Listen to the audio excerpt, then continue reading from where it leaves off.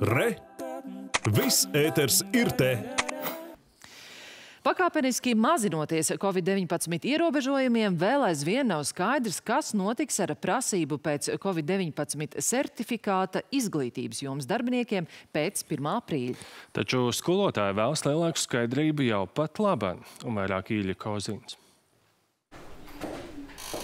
Valdība nolēmusi, ka pēc 1. marta Covid-19 certifikāti vēl aizvien būs vajadzīgi izglītības iestāžu darbiniekiem, taču kas notiks pēc 1. aprīļa nav skaidrs, un tas uztrauc pedagogus un skolu tehniskos darbiniekus, sevišķi tos, kuri līdz šim brīdim nav vakcinējušies. Viņiem nav skaidrs, vai varēs atgriezties darbā, ja certifikātu sistēma tiks apturēta.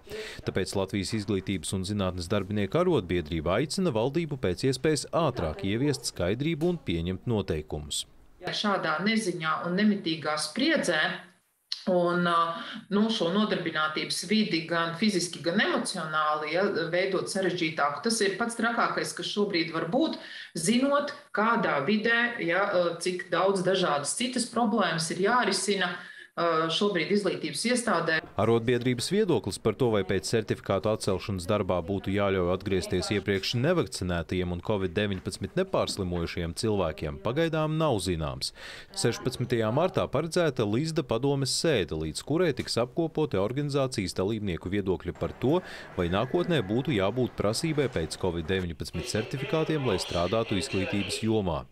Diskusijas par to, vai prasība pēc Covid-19 certifikāta izglītības jomā strādājošiem saglabāsies pēc 1. aprīļa, turpinās. Pašlaik eksperta operatīvās vadības grupā vērtē epidemioloģiskos un citus riskus.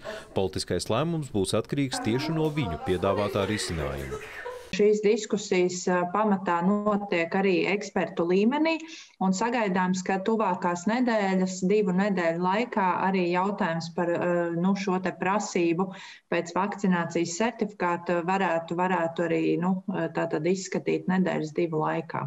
Lai ir cilvēkiem marta mēnesī skaidrs, kas notiks aprīlī. Mūžniece arī uzskata, ka skolu direktoriem būtu jābūt tiesībām lemt vai saukt atpakaļ darbā tos cilvēkus, kuriem iepriekš nebija Covid-19 certifikāta, ja būs politiska vienošanās, ka izglītības iestādēs var strādāt bez certifikāta. Ilija Kozins, Ivor Žepickis, Latvijas